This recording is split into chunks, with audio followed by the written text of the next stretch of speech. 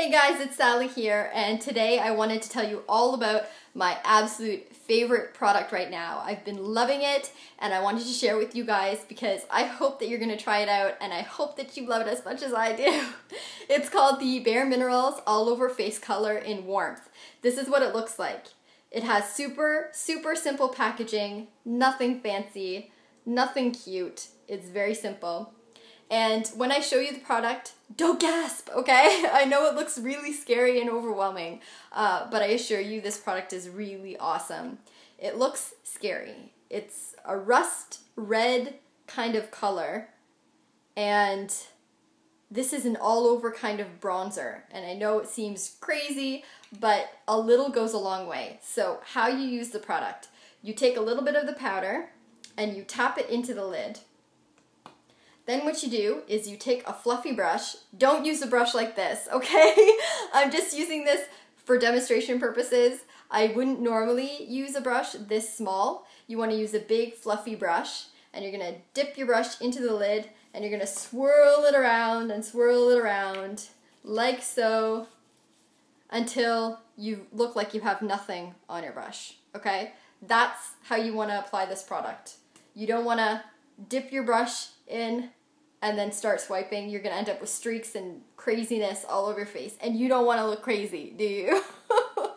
so once you have a little bit of product on your brush, you're gonna go into circular motions and apply it in the places that you would like some extra color. So you may want it in the hollows of your cheeks to accentuate your cheekbones. You may want to do it in the temple area, maybe down the bottom of your nose, maybe a little bit on your chin. Wherever you think the sun would hit your face, that's where you want to apply this product, okay? So once you're done doing that, you can kind of blend in because now most of the product that's on your brush is now on your face. So you can use your brush to blend in a little bit. I've already put quite a bit of this product on my face, so hopefully I don't look too orange at this point. um, but just for the purposes of showing you um, how I've used it in the hollows of my cheek to accentuate, um, this product is awesome. And to give you an idea of how pale I actually am, my skin is about as pale as my wrist. So I'm pretty much like Snow White, people. I'm, I'm as pale as they come, pretty much. Um, so I've used quite a bit and the reason why I use a lot too is because I have a lot of lighting in here. I've got pale walls, I've got two windows that are facing me, one on either side of me, and then I have a light. So um, I put quite a bit, but normally you would just put a little bit in, this, in the areas of your face where you would have sun-kissed. So um, yeah, I love this product. It's awesome. It goes with most skin complexion, skin tones. It is an amazing product.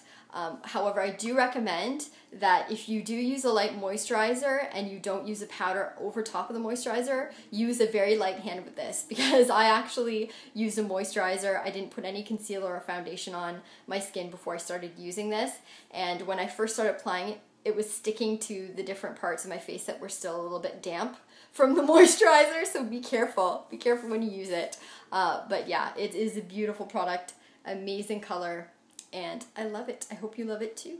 So if you want to check out more videos of my favorite products, because I have lots, subscribe and uh, like this video if you like it, and leave a comment in the box below if you get a chance to try this product or if you have tried it.